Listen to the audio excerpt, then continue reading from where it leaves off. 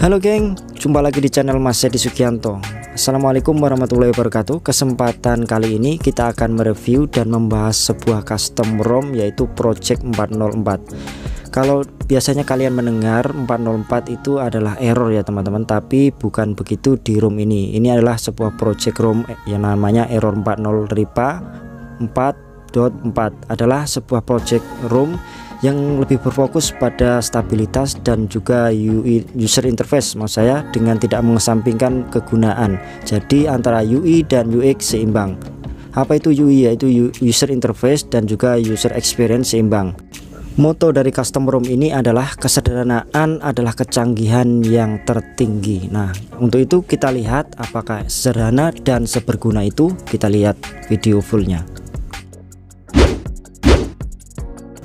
Oke seperti yang kalian lihat di depan kalian sudah terinstall sebuah custom ROM Project 404 yang keren ya teman-teman. Nah untuk itu kita lihat lebih dalam tentang telepon ini. Ya, maksudnya tentang ROM. Kita lihat di bagian tentang ponsel. Oke sampai di sini. Kalian lihat di sini untuk logo sesuai namanya 404 kemudian untuk versi Android kita lihat dulu Nah untuk Androidnya menggunakan versi Android 11 yaitu Android R kita coba main dulu. Kita kembali untuk versinya. Versinya adalah RIPA 44 kemudian untuk kernelnya menggunakan kernel Cylon Crawl untuk kernel Cylon Crawl ini terdengar cukup asing. Kayaknya ini juga dikembangkan sama geng kapak. Kalian kalau mau download terpisah ada juga di Blink maupun Sofoge Oke itu tadi mengenai about ROM sekarang kita lanjut untuk display atau tampilan. Kalau kalian lihat di sini keseluruhan ya teman-teman. Keseluruhan di sini begitu simpel sederhana bahkan tidak ada widget. Kalau kalian menambahkan sendiri juga bisa tapi cukup sederhana seperti yang dikatakan tadi. Kemudian kita lihat lanjut untuk wallpapernya teman-teman. Di sini ada stok yang sediakan dari wallpapernya tentunya keren kalian bisa menerapkan satu persatu agar kalian ponsel kalian terlihat fresh terus dan tidak membosankan. Itu untuk wallpaper. Sekarang kita lanjut ke untuk layar utama. Kita cek untuk layar utama apakah bisa custom. Nah tentunya di sini untuk layar utama kalian juga bisa custom ya teman-teman Walaupun tadi kalau kalian lihat untuk semboyannya adalah kesederhana tapi tidak sesederhana itu. Tetap ada kustomisasi yang kalian dapatkan di ROM ini. Itu untuk displaynya secara keseluruhan smooth ya teman-teman. Kalian bisa merasakan jika nanti menginstal project 404 ROM ini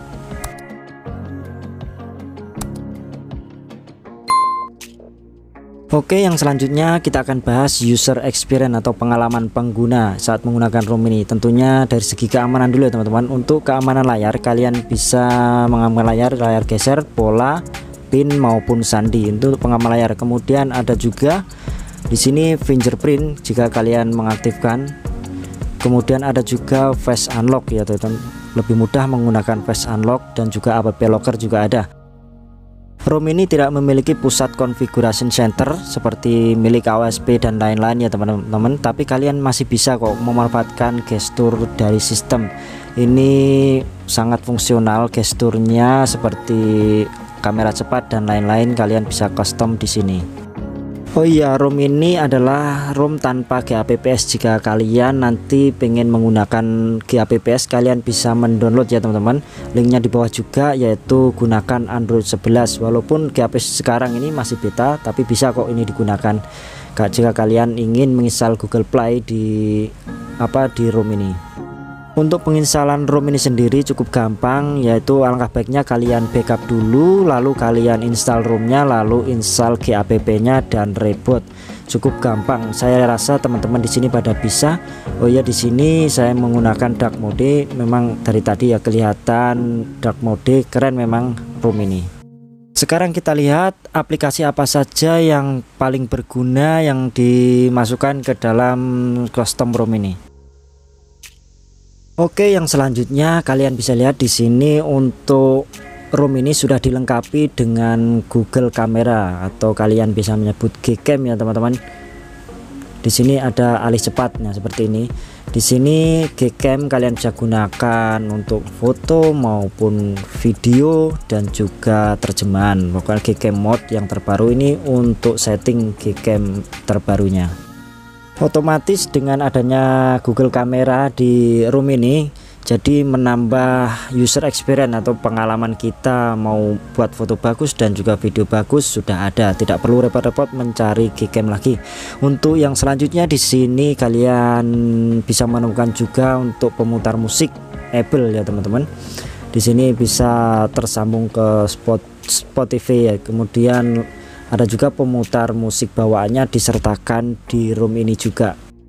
Saya rasa itu untuk pengalaman pengguna atau user experience di room ini. Pokoknya terkesan cukup bagus pokoknya ya teman-teman. Enak. Yang selanjutnya kita bahas.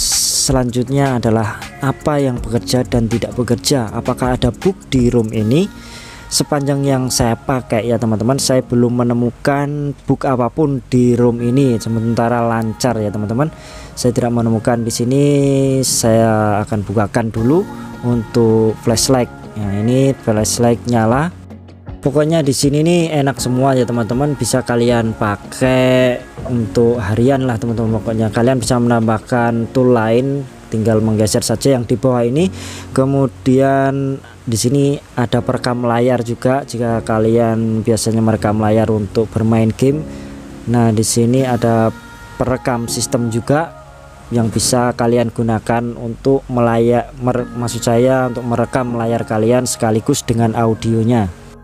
Oke jika kalian nanti menemukan bug atau yang tidak bekerja jangan sungkan untuk mengisi kolom komentar di bawah teman-teman. Akan kita diskusikan bersama dan tentunya bisa bermanfaat untuk yang lain